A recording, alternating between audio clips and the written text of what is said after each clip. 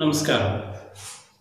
భారతదేశం అంతటా ఇప్పుడు కరోనా వైరస్ తోటి ఆందోళనకి లోనవుతున్న పరిస్థితి.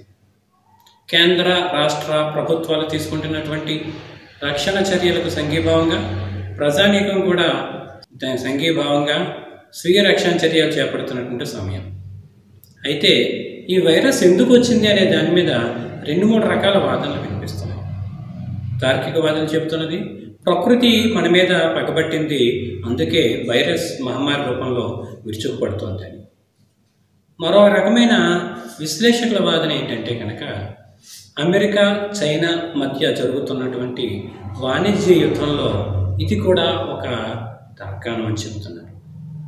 ఎందుకంటే చైనాయే ఈ కరోనా వైరస్ను సృష్టించి ప్రపంచం మీదకు వదిలింది.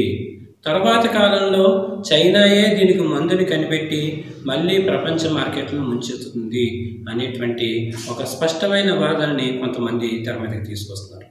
ఇప్పుడు ఇది సోషల్ మీడియాలో బాగా చక్కర్లు కొడుతుంది. ఈ వాదనకు అనుకూలంగా కొన్ని పాయింట్స్ని వాళ్ళు చెప్పడం జరుగుతుంది.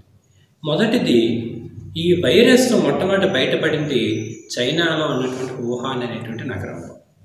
అక్కడే అది దాని యొక్క ఆచూకీ తెలిసింది. కానీ చైనాలో ఉన్నటువంటి ప్రధానమైన నగరాలు లేనట్లయితే కనుక ముఖ్యమైన జనసమ్మతతో ఉన్నటువంటి ప్రాంతాల్లో ఎక్కడా కూడా ఆ వైరస్ ఆనవాళ్ళు కనిపించలేదు. ఇది రెండో పాయింట్. మూడో పాయింట్ ఎక్కడైతే ఈ యొక్క వైరస్ ఉందని తెలిసిందో చైనా అధ్యక్షుడు అక్కడ పర్యటనకు వెళ్ళినప్పుడు భారీ ఎత్తున రక్షణ చర్యలు ఏం తీసుకోకుండా సాదా సీదాగా ఆయన వెళ్ళి రావడం అనేటువంటిది జరిగింది. అంటే ఇదంతా చైనా ప్రభుత్వానికి తెలిసి జరుగుతుంది అనేటువంటి మాటని బలపరిచేటువంటి వాస్తవం నాలుగవది ప్రపంచాన్ని పెద్ద ఎత్తున ఈ వైరస్ ముట్టడిస్తున్నా కానీ చైనా మిత్ర దేశాలైనటువంటి రష్యా ఉత్తర కొరియాలో మాత్రము ఇప్పటిదాకా పెద్దగా ఈ వైరస్ యొక్క జాడ కనిపించలేదు. కానీ మరోవైపు అమెరికా దాని మిత్ర దేశాలైనటువంటి ఇటలీ ఇండోనేషియా వియత్నాం ఇలాంటి దేశాలు ఏవైతే ఉన్నాయో వీటిలన్నిటిలోనూ కూడా ఈ కరోనా వైరస్ అతలాకుతలం చేస్తుంది.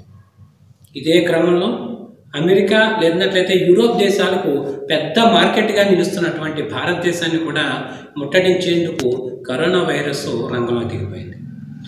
దీని పరిస్థితిని చూస్తున్నట్లయితే కనుక రాగల కొద్ది రోజుల పాటు అనేక ప్రధానమైన దేశాల్లో వస్తు సేవల రంగం నిలిచిపోనుంది ఇదే జరిగితే ఆయా దేశీయ మార్కెట్లన్నీ కూడా కుప్పకూడతాయి సరిగ్గా చైనా కూడా ఇదే కోరుకుంటుంది.